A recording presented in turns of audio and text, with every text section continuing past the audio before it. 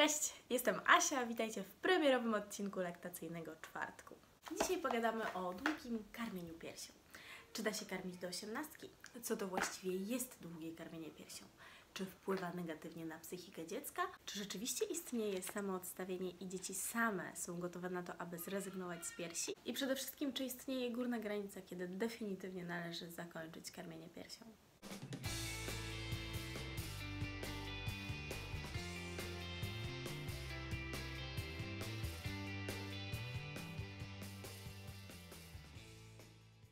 Co to jest. Długo. W naszym społeczeństwie jest takie przyzwolenie na karmienie butelką, no przedszkolak z butelką, no dziwne, ale spoko, ale przedszkolak, y, który je pierś i, i pije mleko mamy, to już w ogóle jak to?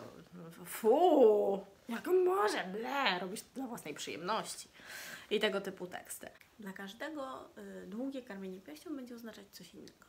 Dla jednych y, już takie długie karmienie zaczyna się y, po pierwszym roku życia dziecka. Dla innych są to dopiero 2-3 lata dziecka, a dla jeszcze innych to są pięciolatki, które właśnie samodzielnie odstawiają się od piersi. Niejednokrotnie spotkałam się z tym, że u nas o długim karmieniu piersią mówi się już po szóstym miesiącu, co jest całkowicie absurdalne. Skąd w takim razie wzięła się ta magiczna granica 6 miesięcy, którą niektórzy uważają za to, za koniec karmienia piersią? E, wiele matek e, uważa, że zalecane jest właśnie karmienie piersią przez 6 miesięcy, a później należy wprowadzić mleko modyfikowane. No to nie jest prawda. Ten okres 6 miesięcy, to magiczne 6 miesięcy, wzięło się najprawdopodobniej z tego, że po szóstym miesiącu e, powinny być wprowadzane pokarmy stałe. Oczywiście pod osłoną mleka matki. Dodatkowo marketing mleka modyfikowanego jest tak silnie rozwinięty, że podprogowo wmawia się matkom, że karmi się do szóstego miesiąca. Zwróćcie uwagę na reklamy. Jak one są skonstruowane? One są cudowne, bo te reklamy mleka są naprawdę fantastyczne. No i ten przekaz właśnie płynie, że po szóstym miesiącu nie dostarczasz już e, wszystkich e, składników odżywczych, wartości, że powinnaś wprowadzić właśnie żywienie uzupełniające oraz mleko modyfikowane. No to nie jest prawda. Jeżeli chcesz karmić piersią, chcesz kontynuować karmienie piersią, możesz karmić tak długo, jak tego chcesz. Ty lub dziecko. Długie karmienie piersią zmniejsza ryzyko raka piersi, zmniejsza również ryzyko osteoporozy w późniejszym czasie. Czy istnieje zatem górna granica, kiedy należy odstawić dziecko od piersi? Nie. Żaden autorytet medyczny nie odważył się e, określić takiego wieku, w którym dziecko powinno być odstawione od piersi, w którym matka musi zakończyć karmienie piersią. Europejskie Towarzystwo Gastroenterologii, Hepatologii i Żywienia Dzieci e, zaleca karmienie tak długo, jak będzie to pożądane przez matkę i dziecko. WHO do dwóch lat i dłużej, a Amerykańska Akademia Pediatrii mówi, żeby karmić przynajmniej rok lub dłużej, e, jeżeli życzy sobie tego właśnie matka i dziecko. Jak widzicie, nie istnieje górna granica długości karmienia piersią, ani nie ma dowodów e, na szkodliwość w sferze psychiki lub rozwoju przy karmieniu piersią dziecka e, trzyletniego, a nawet starszego. Tak podaje Amerykańska Akademia Pediatrii. To dla wszystkich sceptyków, którzy uważają, że matka karmi dla swojej własnej przyjemności i krzywdzi psychikę dziecka.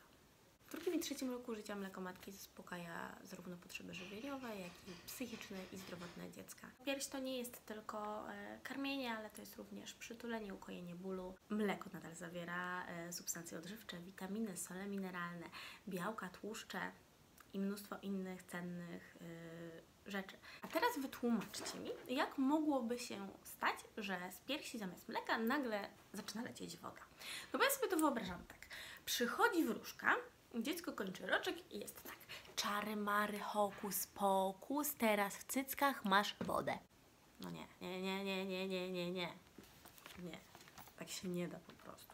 Ale co z tym karmieniem do osiemnastki? No, czy, czy ja będę karmić do osiemnastki, czy planuję karmić do osiemnastki? E, wiecie co, to, to było wiadomo, no to było tak przekornie do tej osiemnastki, ale bardzo często matki e, długo karmiące spotykają się właśnie z tym, że jak nie odstawi się dziecka, to, no, no to dziecko po prostu samo się nie odstawi, no bo to jest niemożliwe, żeby dziecko samo się odstawiło. Jak dziecko może podjąć decyzję o samoodstawieniu? No pff, bzdura. Wynika to z braku świadomości, wynika y, to z braku takiej podstawowej wiedzy o ludzkiej laktacji, o tym, y, jak karmienie przebiega, kiedy następuje samo odstawienie, y, że karmienie kilkulatków jest absolutnie normalne i nie jest to nic nadzwyczajnego. To jest po prostu nasza kultura, która mm, przez wiele lat szczególnie ubiegłego wieku, kiedy weszło mleko modyfikowane, kiedy matki e, karmiły miesiąc e, albo w ogóle, bo było mówione, że mleko modyfikowane jest lepsze od mleka matki, kiedy kazano rozszerzać dietę między drugim, trzecim e, miesiącem życia dziecka, kiedy podawano soczki, kiedy uważano, że cukier krzepi. No słuchajcie, no to się wszystko, wszystko zmienia. Co z tym samoodstawieniem? Jest to naturalny etap rozwoju dziecka karmionego piersią. Dziecko powoli rezygnuje z karmień, e, najpierw odstawia sobie jakieś mniej ważne karmienia, e, przychodzi moment, że zamiast na śniadanie zamiast piersi chce kanapkę, kaszkę. E, to wszystko dzieje się powoli, to jest proces. Jeżeli pozwolilibyśmy jeść naszym dzieciom na żądanie i tyle, ile tego chcą, prawdopodobnie odstawią się między drugim a siódmym rokiem życia.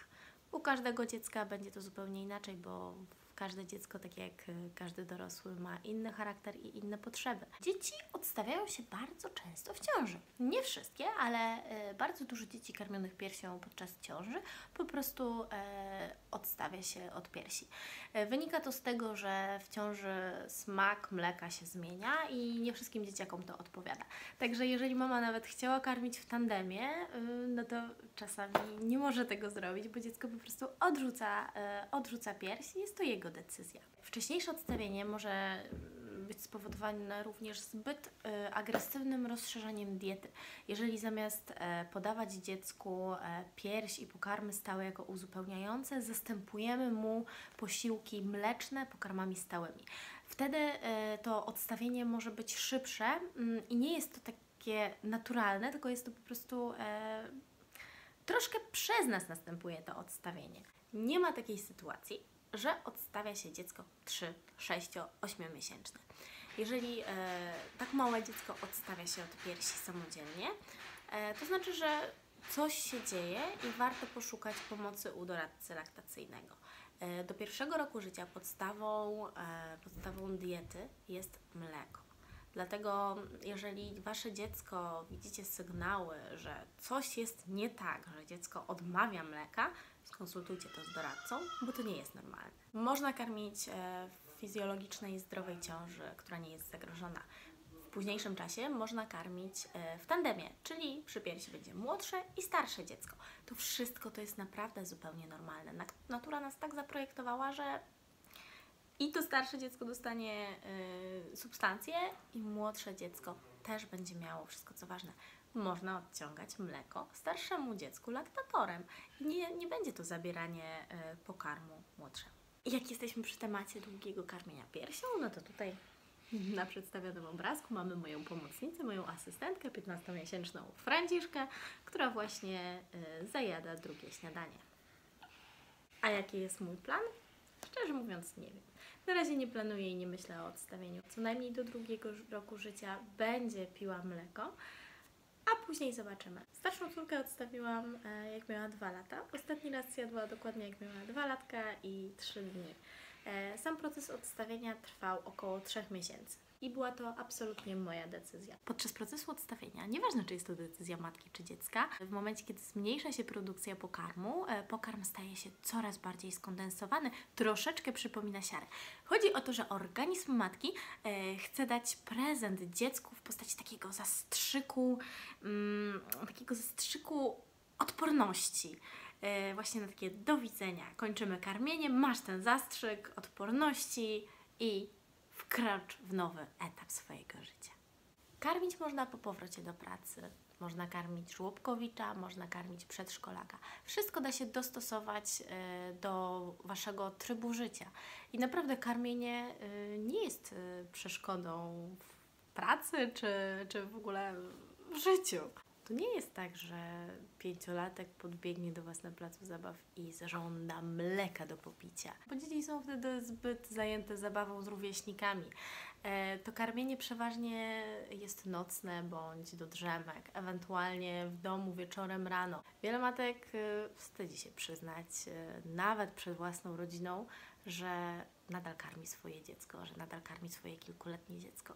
Podsumowując, nie da się karmić do osiemnastki, nawet jeżeli bardzo byście tego chciały.